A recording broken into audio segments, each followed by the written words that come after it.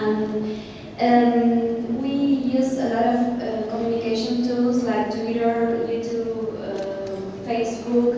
Uh, many of us use mailing lists, and, but we face some troubles with uh, limitations like uh, students might not be uh, allowed to participate in the mailing lists and like the problem is not about the tools we use but other limitations. Uh,